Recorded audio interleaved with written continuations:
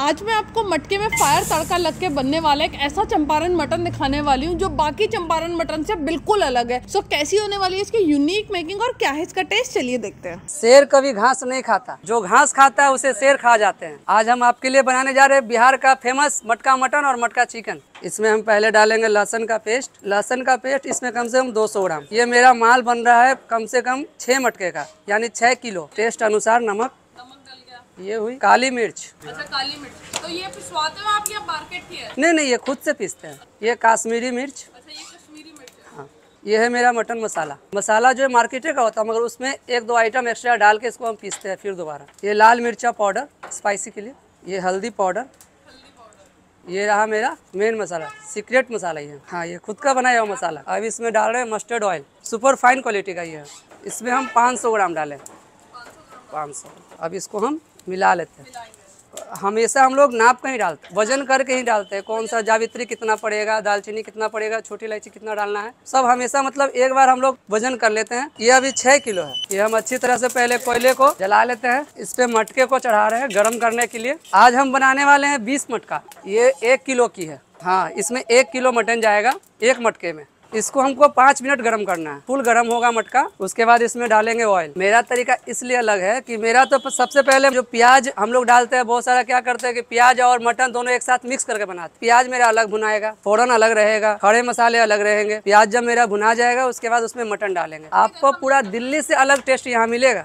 अब हम ऑयल को मटके में डालने जा रहे हैं। इस तेल को पकने में पाँच से दस मिनट लगता है। दूसरी नंबर मेरा टेम्परेचर का ऊपर ही। है हाई टेम्परेचर पे तो मेरा तेल जल्दी पक जाएगा। ताज़ा जलाया जा ताज़ा जलाते हैं हम लोग। जला के रखने से क्या होता है उसका जो फ्लेवर वो उड़ जाता है। और इसमें कि जो भी इसका फ्लेवर है सब इसी में रहेगा। हाँ मेरा तेल अच्छी तरह से पक चुका है। अब हम इसमें प्याज डालने वाले हैं। प्याज डालने वाला है। तो प्याज का क्या अंदाज़ा होता है और हाँ। तो मतलब है पूरा फायर लगेगी।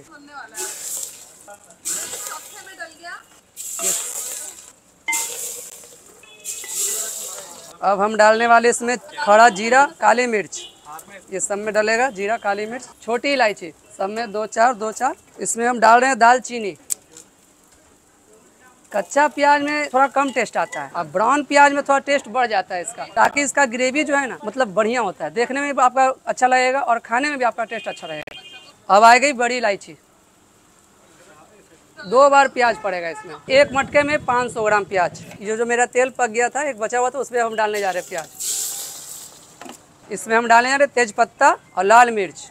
सब में एक एक, अब लाल मिर्च। चार चार सब में। वो जो मसाला उस टाइम जब मैगनेट कर रहे थे, उस टाइम कुटी हुई मिर्च थी। अब ये लहसन सावत लहसन। ये सावत लहसन इसलिए डलता है कि बिहार का ये जो डिश है हम लोग खड़े मसाला का ये जो मटका है और इसको खाने में भी बहुत अच्छा लगता है और इससे टेस्ट भी बढ़ता है और देखने में भी अच्छा लगता है। तो हम चार चार डालेंगे एक मटके में चार। कस्टमर लोग तो चार की जगह छह खा लेते हैं। कहते हैं दो लहसन और एक्स्ट्रा दे दो। इसको थोड़ा चला लेते हैं ताकि ये जले नहीं हम्म अब इसमें हम डालने वाले हैं नमक। और इसमें भी थोड़ा थोड़ा नमक इसलिए डालते कि मेरे प्याज अच्छी तरह से गल जाए। कम से कम 80 से 90 मटका बनाए। बाकी जिस दिन ज़्यादा सेल होता है, सौ भी पार कर देते हैं। ये बिहार में हम चंपारण दूसरे दुकान में, वहाँ से सीखे। उसके बाद फिर हम दिल्ली आके बनाना शुरू किए। कुछ भी नहीं, सब आपके सामने बनेगा। कस्टमर लोग भी मेरा देखते हैं, सामने बन रहा है। हाँ ओरिजिनल टेस्ट रहेगा। नहीं नहीं, हम लोग ऐसा नहीं, हम लोग प्याज को पहले अच्छे से भून लेते हैं। जो रियल टेस्ट है तो चंपारण किचन में ही मिलेगी। अब ये मेरा मसाला पक चुका है। अब हम इसमें डालने जा रहे हैं मटन। एक हांडी में हम 16 पीस डालेंगे मटन। बॉन बोनलेस सब पीस मेरा मिक्स रहता है। दो, तीन, चार, पाँच छः सात, आठ, नौ, दस पीस ऊपर से फिर डालेंगे। ये हो गए सोलह पीस एक मटका तैयार। चलिए, अब इसमें डालेंगे चिकन ये हो गए सोलह पीस चिकन दो बीन्स दो लेग और दो थाई पीस ये सोलह। में मेरा मटन और चिकन दोनों डल गया। चिकन मेरे पास 45 मिनट रहेगा चिकन। और मटन एक से सवा घंटे तक रह सकते हैं। टेम्परेचर का ऊपर है मेरा। टेम्परेचर बराबर रहा तो एक घंटे में मेरा मटन रेडी हो जाएगा। अगला स्टेप मेरा ये है कि अब इसको हम आटे से सिल किया जाता है। हम रहने वाले बिहार का है। दिल न लगई मिल जानी आई दिल न लगई मिल जानी आई हा, जा जा। जा जा, भुला जाई जा जा जा जा जा जा, जान भुला जाई एक घंटे हो गए। अब ये हमारा चिकन रेडी हो गया है। अब चिकन हम खोलने जा रहे हैं। ये मेरा चिकन सारा रेडी है। ये चिकन है और ये भी चिकन है और ये भी चिकन है। ग्रेवी आप देख सकते हैं। इसमें पाँच मिनट सिर्फ़ ग्रेवी को सेट होने में लगता है। चिकन मेरा है फुल मटका एक हज़ार रुपये का जीएसटी लगा के है। और हाफ़ है पाँच सौ पचास का। आठ पीस रहेगा हाफ़ में। और क्वार्टर मेरा तीन सौ पंद्रह रुपये का। मेरा मटन का डेढ़ घंटे हो गए। अब इसको हम खोलने जा रहे हैं। डेढ़ घंटे में अच्छी तरह से ये पक जाता है। पूरा रेडी आप ग्रेवी भी चेक कर सकते हैं। ग्रेवी का कलर देखिए आप।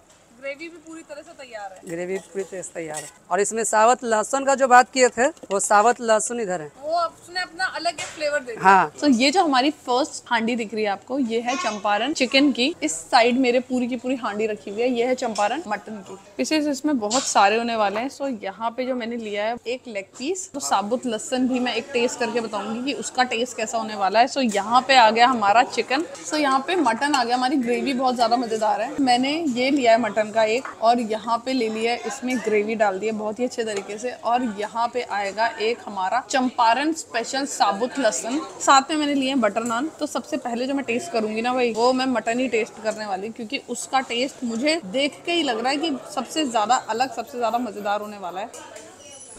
मटन की अगर मैं बात करूँ ना, मटन का फ्लेवर बिल्कुल अलग है। मतलब मैंने इतनी जगह चंपारण मटन खाया लेकिन इसका टेस्ट बिल्कुल डिफरेंट है, क्योंकि बनाने का जो रेसिपी थी ना, वो सबसे ज़्यादा मुझे अच्छी लगी, वो बिल्कुल अलग है। सो मैं फुली रिकमेंड करती हूँ यहाँ पे आप क्या मटन ज़रूर ट्राई करें। नेक्स्ट जो मैं ट्राई करने वाली हूँ, वो चंपारण चिकन ट्राई करने वाली हूँ। सो ये हमारा चंपारण चिकन जिसका फ्लेवर मुझे बहुत ज़्यादा मज़ेदार लगा। बात करें अगर चिकन और मटन की तो दोनों की ग्रेवी मुझे ऑलमोस्ट सेम लगी है। टेस्ट मुझे जो लग रहा है ना मटन और चिकन का, वो फ्लेवर्स मुझे बहुत ज़्यादा अमेजिंग लगे। एक चीज़ जो मुझे और अच्छी लगी ना, वो ये कि हांडी चिकन हांडी मटन के अलावा यार यहाँ पे ना आपको हांडी खीर भी मिल जाएगी। तो देख सकता है, दिखने में कितनी ज़्यादा अमेजिंग लग रही है। इसको मैं टेस्ट करके बताऊँगी कि इसका टेस्ट कैसे होने वाला है। मुझे खीर कहीं से नहीं लगी मुझे प्रॉपर ये रबड़ी लगी। टेस्ट बहुत अच्छा है बिल्कुल माउथ मेल्टिंग है। एकदम मज़ेदार टेस्ट है। ये नोएडा सेक्टर 18 का है अट्टा मार्केट के ठीक सामने। द चंपारण किचन टीसी के। सो so, यहाँ पे मैं अपना मील एंजॉय करती हूँ मिलती हूँ आपसे नेक्स्ट वीडियो में। टेल देना हँसते रहिए हंसाते रहिए। और अगर खुश रहना तो मेरी तरह खाते रहिए।